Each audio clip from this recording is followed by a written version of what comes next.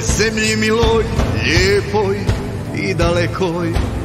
U godini gospodnjoj šestotina i nekoj Spustila se na tu zemlju sila.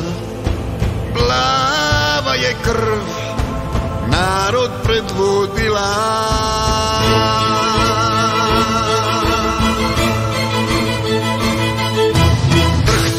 zemlja kamen puca kroz nebeska vrata. Dojahao bijeli vitez sa mačem od zlata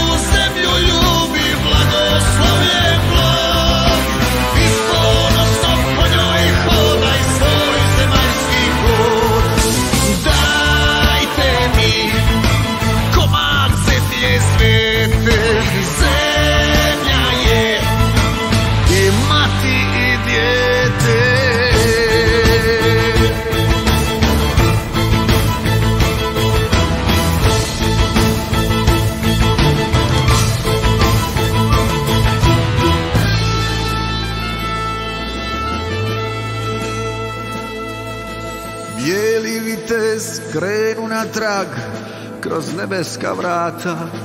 Ostavio lijepu našu bez gladi i rata. Pred nebeskog oca klekne s riječima od zlata.